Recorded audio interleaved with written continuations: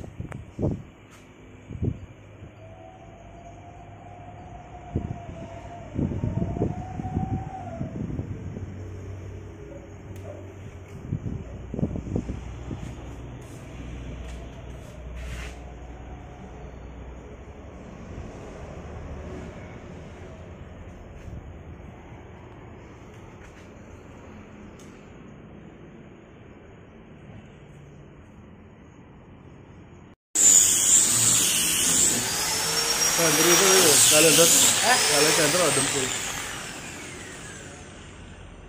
Left di